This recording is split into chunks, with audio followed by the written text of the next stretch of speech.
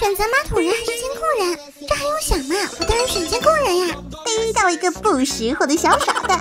马桶人不仅防御力高、数量多，而且还能够根据环境自我进化，简直无解，好吧？切，谁会选又臭又丑的马桶人呀？再说了，现在的马桶人都被按在地上摩擦，早就没有胜算了。哼，谁说的？那你敢不敢跟我的马桶人大军比划比划？来就来，看我不开个超大音响人把你揍得稀巴烂！运气不错，第一个罐子就开出三只螃蟹和监控人，继续继续，再多开几个加强战斗力。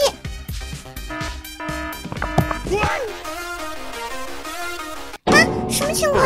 怎么会有马桶人藏在我的罐子里面？嘿嘿，马桶人早就进化出间谍马桶人了，混迹在你的内部核心，一不留神就能够把你给炸喽！好家伙，没想到都进化到这一步了，那我只能派出我的监控人来制裁你了。监控人给我揍他丫的！吼吼吼！你才怕不是来搞笑的吧？连我的马桶人三拳都扛不住！我去，这监控人是假的吧？怎么会这么弱？既然监控人打不过你，那就让我小表妹来吧。小表妹居然插手藏增，你你你你你这可是作弊耶！哼，我不管，我只是替监控人顺手收拾一下马桶人。现在决战时刻到了，快去排兵布阵吧！我就不信一个监控人打不过，一群还打不过。切，都是普通监控人，吃了会当老六摁抽水啥也不是。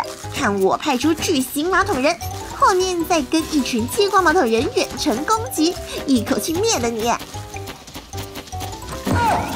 哎，怎么情况有点不太对劲啊？嘿，我就说监控人才是最强的嘛！我宣布，第一回合我小表妹胜利。可恶，是我太轻敌了！你等着，我再继续挖光头获取马桶人。我要组建一支地表最强的马桶人战队。气死我了！那我也不会坐以待毙，我挖我挖我使劲挖。经过一番努力，我手上现在有四种监控人了。前面就先用普通监控人用来抵挡住表姐的第一波进攻，中间再来点强化监控人辅助输出，最后再补上音响人背后放冷箭，完美！没想到嘛，小表妹一下成长了那么多，那我也不用讲完了。既然你在前面放了炮灰，那我也放点抗伤害的马桶人，后面再补上激光马桶人。激光马桶人攻击力高，范围广，能够直接攻击到后方的音响人。等到音响人全死光了，你呀就是待宰的羔羊喽。吼吼吼！哼，那就来一决高下嘛，看看是我的监控人大军厉害，还是你的马桶人大军厉害？直接激光扫射，一死一大片监控人。